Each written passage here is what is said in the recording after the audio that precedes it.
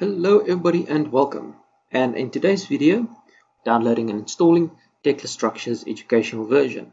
Now, the first thing you want to do in order to get the program is create a profile on their Learn website. campus.tekla.com forward slash learn. I will have it linked below. Start off by saying register now. Put in a name. Frenchman should be fine. The rooftop. Good enough for our email address and for our password. Once you have finished filling in all of your relevant information, say create new account. Next, head on over to your email account. You'll find an email from Trimble. Do note it might end up in your spam folder, so if you don't see it right away, just have a look there. Click on activate in order to get your identity. Clicking on that link will bring you to the confirmation. Click here to log in. So let's go on log in and sign in. Now, the first time you sign into your new account, Tekla is going to bring you to this page over here. They simply want you to tick the box on confirming the privacy stuff. Once that's done, go back to Tekla's main site. Now, first time you come back here, they're going to say Tekla Campus license creation successful. Then you'll need to fill this in. I'm going to say educator, structural engineer, and make the company private. You can either go continue learning, go through their tutorials, or you can come up here to downloads. Once that's loaded up, now we're going to say we have read and accept those terms. Do make sure to just give them a quick glance over as you can see, we will be downloading Tekla Structures Learning version 2018i. There we go, Tekla has started downloading. And the next thing we would like to see all of the additional environments. Have a look through the list of environments available, pick the ones relevant to you and download those.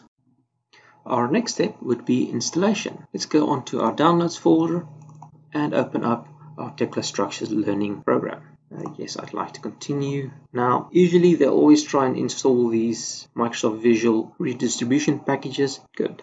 Now that that's done. Right. Next, again, read through, accept. Now, this is the part that we don't just want to use their default settings.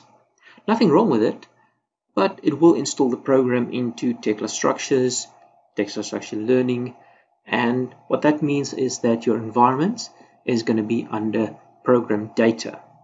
So everything is going to be very spread out. And especially if you want to customize your environment, if you want to create a template, if you want to create company folders, everything becomes much, much easier if it's all in a centralized location. So I'm going to change this. I'm going to say I do not want it to be underneath program files.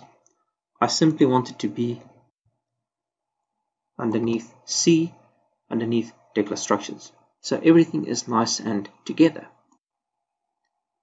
Next,